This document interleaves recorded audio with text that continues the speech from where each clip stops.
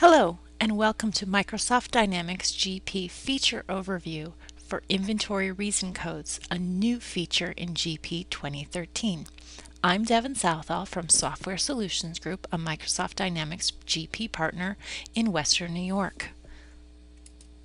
Here we are in GP. Let me show you the inventory reason codes.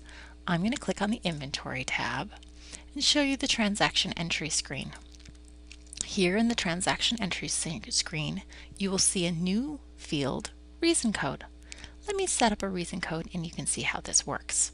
I'm going to scroll down to Inventory Setup, and here's my reason code setup. You also can go to Microsoft Dynamics GP, Tools, Setup, Inventory, Reason Code Setup. We're going to enter a reason code for samples.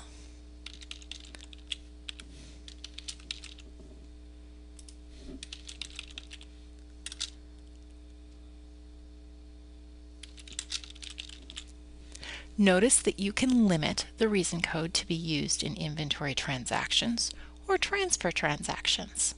Sales samples are going to be an inventory transaction, so I'm going to turn it on for just the adjustment type. You can also limit it to be used in increase and decrease, or increase only when you're adding inventory, or decrease when you're removing inventory. Sales samples are going to be for decrease, so I'm going to put that in. Next, it asks for a default offset account. And really, this is the power behind the reason code setup in inventory adjustment transactions. What this allows us to do is specify a default expense account we want to be used when samples are taken out of inventory. So I'm going to put in the expense account that we want sales samples to go to. Now we're going to go to the transaction entry and we can see this feature in use. I'm going to start an inventory adjustment. And first, I'm going to start an adjustment without the reason code so you can see where the GL accounts come from. We're going to remove one of the 24XIDE item from the warehouse.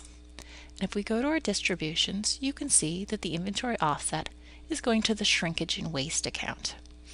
And the reason is because on our item maintenance accounts, our inventory offset is the shrinkage and waste account and that's where it's going to be charged to. So now, with our reason code,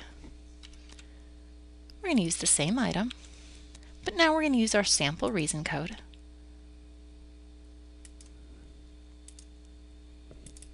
Our samples reason code, and we're going to subtract 1 from the warehouse.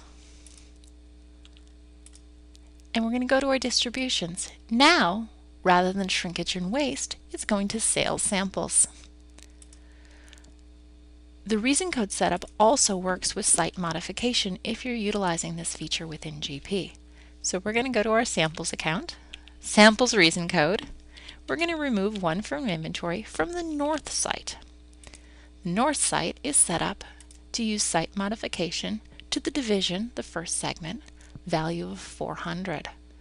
So if we go to our distributions here, we're still going to see sales samples, but we're seeing sales samples for the division of 400.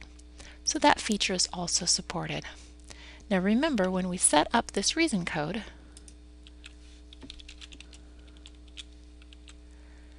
we set it for negatives only. So if we do a positive transaction, it's instantly going to error.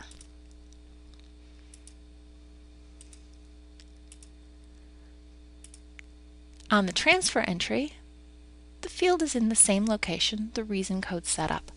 These are not required fields, so transactions can be entered without reason codes. But if the reason code is used, it records it and it can be referenced later for reporting purposes or on the case of the adjustments, a different expense code is used.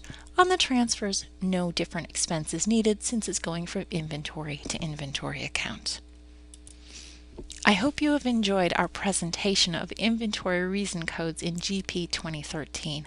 I'm very excited about this feature. I think that the reason codes adds a lot to the use of GP in distribution, manufacturing, and other places where you're removing inventory for various reasons. Thank you for watching and have a great day. Goodbye.